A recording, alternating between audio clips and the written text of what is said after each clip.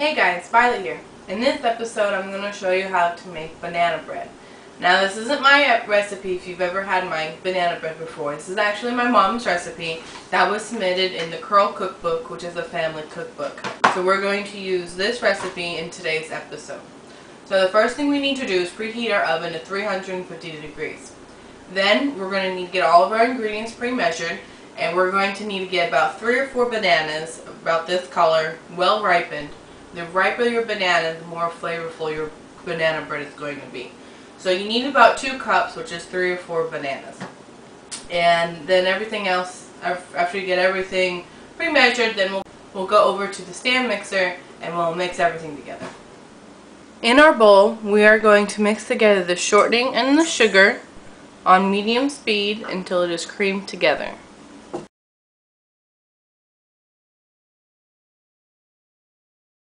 Now that that's been creamed together, we will add in the egg.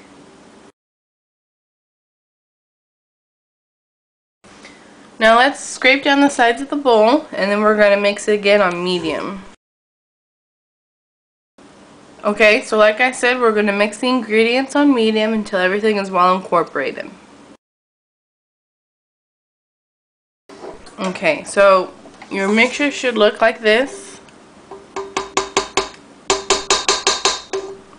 And they should be well creamed together. Our next step is going to be adding in the flour mixture and you'll do this a little at a time until everything is incorporated. You can turn off the mixer if you want to do it that way or you can have it on while adding in your ingredients.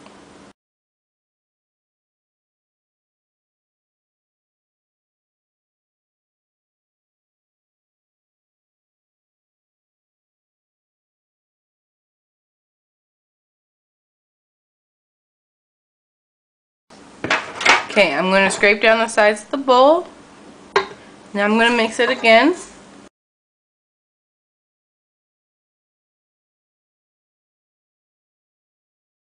Okay, next we're going to add in the banana. And then we're going to mix that until all the ingredients are well combined.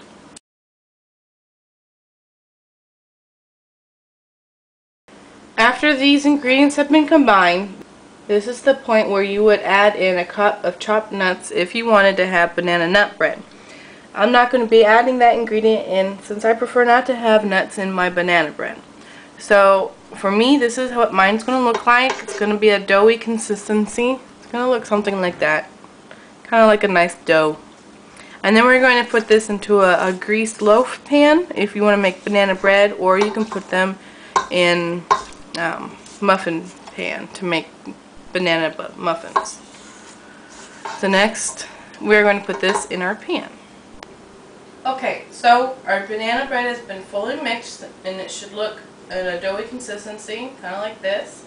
And then we're going to pour it into our loaf pan, which I have pre-greased with Baker's Joy since it automatically puts the flour with the grease.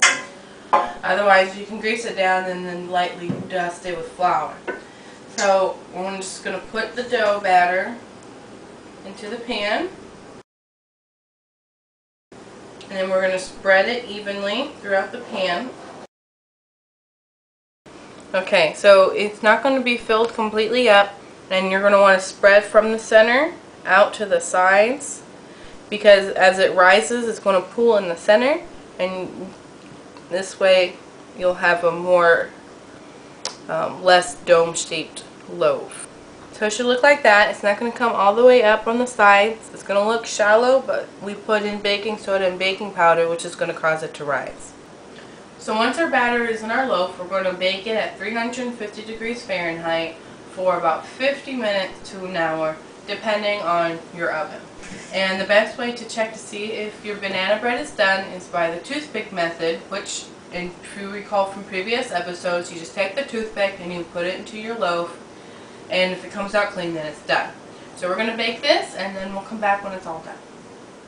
So after your banana bread is finished, like I told you guys, you use a toothpick, you just insert it into your bread and you pull it out and as long as it comes out clean that means it's done.